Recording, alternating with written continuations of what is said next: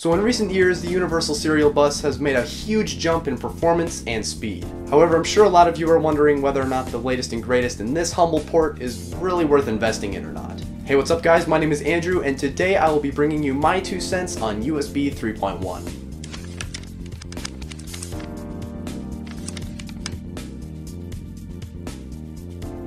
Now before I get started in this video, I just want to say that I am by no means an expert in the field of USB 3.1 or any other USB class for that matter. But just recently I did acquire a USB 3.1 compatible computer, which has caused me to ask this question of myself several times. But I can tell you that from the research I've done, as well as the experience that I've had with the port, has really led me to a pretty decent conclusion on not only how it works, but also whether or not, in my opinion, it's worth it. Now before we get started, it's worth noting that there are two very different lines of USB that are worth going over first. So one series is abbreviated by a number, such as 2.0, 3.0, 3.1, and the other series is abbreviated by a letter, which, as of right now, there is A, B, and of course, Type C. So the format that you are most likely used to is a Type A USB connector. So this is a big blocky connector that's mostly used in things like thumb drives, external hard drives, or many different forms of external media. So the Type A variation can be paired with any of the version numbers such as 2.0, 3.0, or 3.1, which makes it a Type A 3.0 or 3.1 connector. Now where it gets more complex is right there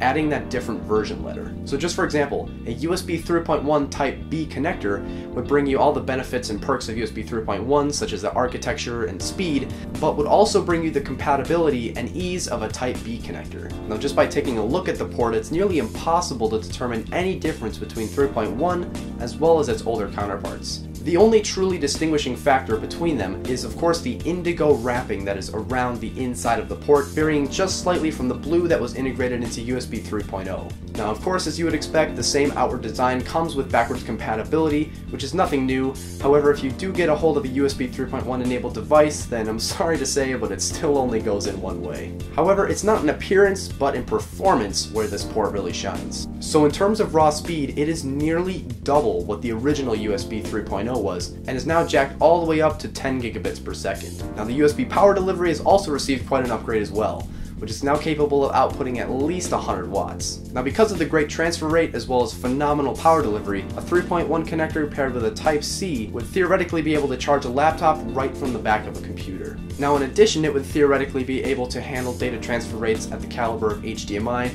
as well as DisplayPort, which basically goes towards lessening the amount of cables on your desk. So what does all this mean? But more importantly, who's this port really for? Well, just looking at raw specs and benchmarks, you'd think we're looking at the next generation of connectors, which we might very well be. Now taking into consideration the possibilities of a connector so strong, so powerful, and so fast would really assume that this connector would creep into every device sooner or later. However, for the time being, although this port really is something special in the world of tech, I can really only recommend it to a media enthusiast or professional who really needs the best of the best when it comes to external transfer.